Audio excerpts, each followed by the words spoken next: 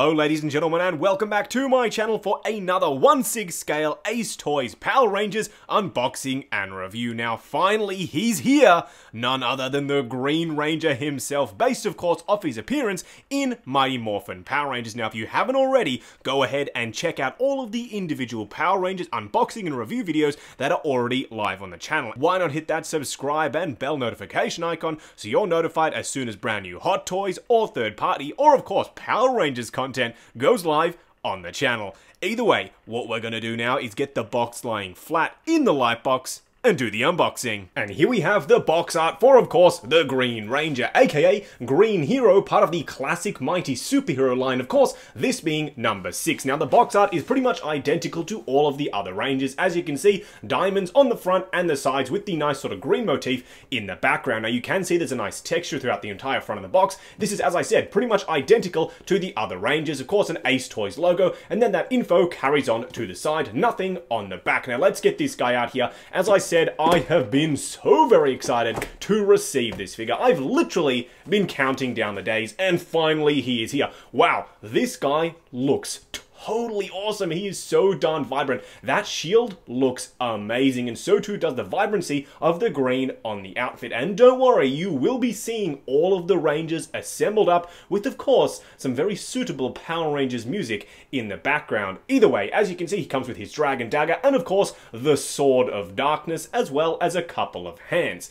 Either way, what we're going to do now is get all of the accessories laid out in the lightbox and take a closer look at everything he comes with. And here you can see all of the bits and pieces that come with Tommy Oliver, aka the Green Ranger. Now let's take a look at the Sword of Darkness first. As you can see, it's painted very nicely, just a clean silver, and the detailing is really nicely dry brushed over the top of that black section. Now you do have a jewel on there. It isn't unfortunately an actual jewel, it's just a red painted piece, which I'm totally fine with. One piece, however, that I'm not totally fine with is the fact that there is no tassel hanging off the end. That is a pretty iconic part of this blade, and unfortunately Ace Toyz missed it. You can sort of add that in yourself if you'd like to go that far, but for me personally, this will work perfectly fine. Now, of course, he does come with his Dragon Dagger painted and sculpted really nicely. You can see it does have those little bits and pieces, so you can actually act like he's playing the flute, and it is, as I said, painted, sculpted, detailed, really done well. I do especially like the detail on the top there. This is a relatively small piece, and for something so small, the paintwork is very darn clean. Now, one thing that this guy does come with over the other Rangers is this additional hand, of course, to play his Dragon Dagger as a flute,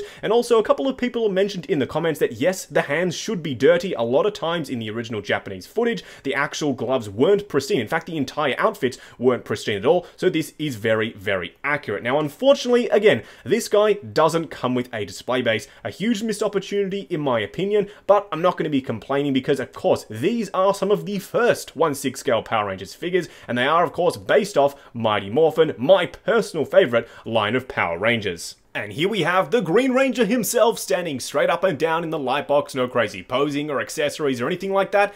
And let me just say, I am over the moon with how good this guy looks. He is totally awesome. This perfectly captures the look of the Green Ranger. I know there are a couple of inconsistencies here and there, and yes, we will touch on them in just a second, but just standing there as I said, he perfectly captures the look. If you close your eyes, just do it for a second, and imagine the Green Ranger, then open them. Is this not the image you saw? It looks totally awesome. Having it in 1-6 scale and putting it alongside the other Rangers is my childhood complete. I really do wish that Ace Toyz would continue this line, do some putties, do Rita Repulsa, Goldar, keep this line going because it really could be an evergreen line for them. There are so many characters they can do, not to mention so many different versions of Power Rangers that I'm looking forward to seeing. Not just, of course, Mighty Morphin, but Zeo and Turbo and all the rest. I am super excited to see what an Ace Toyz Power Rangers collection would look like.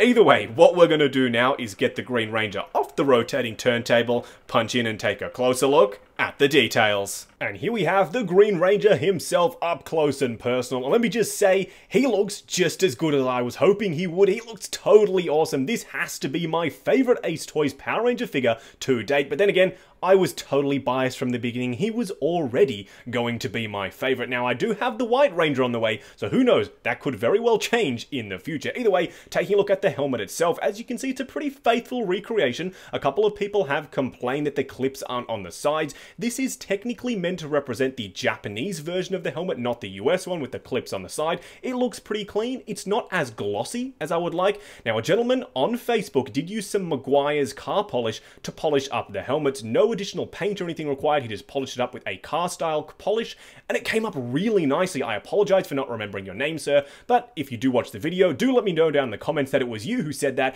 I actually might be trying that on my Rangers figures, but as you can see, the visor is painted a really nice glossy black, and of course the jewel is picked out very nicely in red. Now I'm tempted to do a custom, get a second one of these and do a custom to have the Fighting Spirit version of the Green Ranger with the silver along the top there. That might be a nice second Green Ranger to have in the display, but as you can see, the Dragon Shield is on there really nicely. It's painted well as well. It is a little bit large, but I think that's quite accurate to how it appeared in the Japanese continuity. It looked a little bit smaller and a little bit more poofy in terms of the actual shape of it for the US version, so I think this is quite accurate. Yes, it's a little bit big, but I think it works perfectly fine. Same thing with the armbands, they're on there really nicely, and I do appreciate the way they're all painted in a nice uniform version of a gold sort of style paint. It's not chromy, it's just gold, and it works perfect in my opinion. Now, as you can see, the Morpher is on the front. It does say Mighty Morphin Power Rangers, and it isn't gold. I would have been crucified in the comments if I didn't mention that. This Morpher is supposed to be gold. Unfortunately, it isn't. I'll probably go in with a bit of gold paint and see if I can rectify that,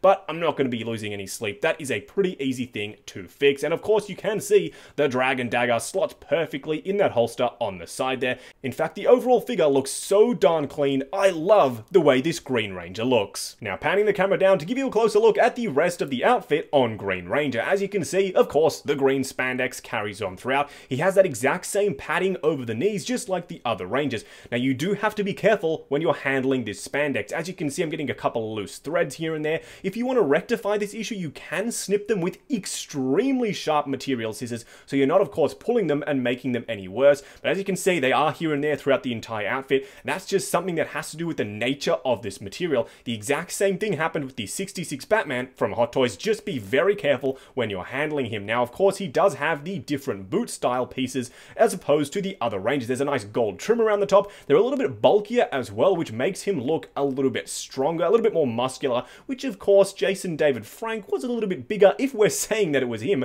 wearing this outfit for this particular figure. But as you can see, the boots are painted nicely. There's a really nice wash over the top. Just like I said with the gloves in the accessory segment, the boots were never clean. So this is perfectly accurate to the show itself. It looks totally awesome. Now, just quickly going over articulation on on the Green Ranger. If you've caught any of the previous Power Ranger videos, you would already have an idea of how this figure can move. Now, I'm going to be by no means pushing these joints to the absolute limit. I'm going to be a little bit careful with my figure because, of course, I don't want to damage it. I'm sure when you get yours in hand, you can push the joints a little bit further than I'm willing to go. Either way, starting off with the head itself, it is on a double joint. There's one at the top of the neck and there's one at the base as well. So you get a really decent range of motion out of the head itself. Now, of course, the shield will restrict the motion. That is a given. It's a big piece over the front of the actual arms there. And as you can see, they go out to about there before you start getting a little bit restricted by the outfit itself. And of course, you can go forward to about there before they start butting up to the shield. Now you do have these bands, but they shouldn't really hinder anything because the joint is actually underneath and you do have a nice double bend there. It does get a little bit hindered when these two parts actually do start colliding. Now you do actually have a swivel at the bicep and of course a traditional 1-6 scale joint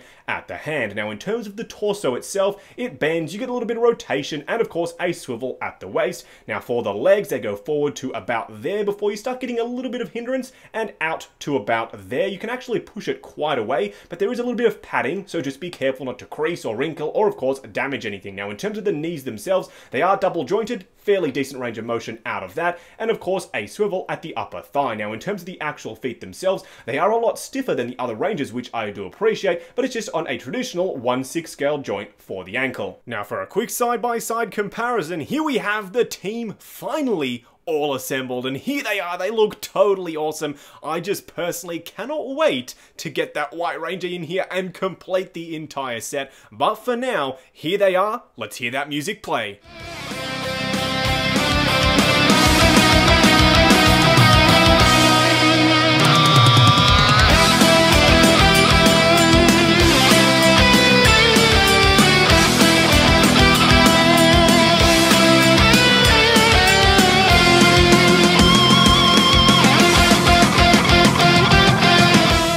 just wrapping up on the Ace Toyz Green Ranger, I have to say, when I went into these Power Ranger reviews initially, I thought, oh, how good could they be? A third party company I've never heard of.